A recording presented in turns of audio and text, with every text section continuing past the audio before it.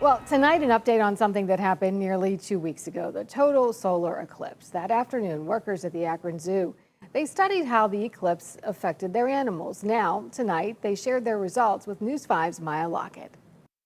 During the eclipse, the Akron Zoo participated in a citizen science program called Soundscapes Eclipse. The animals were recorded two days before and two days after the eclipse to see if there would be any changes to their behavior. To be able to be part of a cool study that hasn't a study that hasn't been done in probably over 100 years, um, is also really exciting. Akron Zoo's education mission manager Cassie Bassett says this kind of study has not been done since 1932.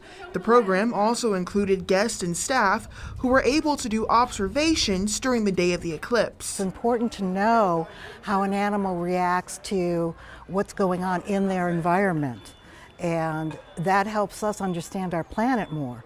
The program involved animals that have never been studied before, like grizzly bears. We found that the grizzly bears actually woke up, like shook off their nap and like kind of looked around all confused, like, and then after totality passed, went back to sleep. As well as coyotes. Our coyotes did wake up um, shortly before totality and they started um, running around, maybe showing a little agitation as well. And they um, were also reported as looking up into the sky, kind of like maybe in confusion. People at home were also able to record their observations of native animals. These native little songbirds like darted into the bushes and just like, I mean, in a big group and as fast as they could, like they were going to sleep for the night, like dark surprised them and they were silent during the the eclipse itself, which is funny because our songbirds call here even after dark sometimes. Many people were excited to see the flamingos because in the past, they were seen huddling to protect their babies. Our flamingos actually showed a little bit of like agitation. So they were just hanging out doing flamingo things. And then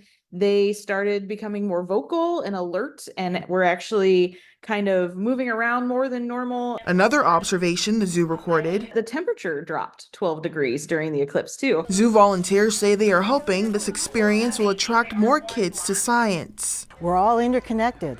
So I hope that they study either astronomy more or they get more interested in conservation and how animals and conservation work together. Bassett says they are still waiting to hear back from Soundscapes to see if there were any additional observations before or after the eclipse.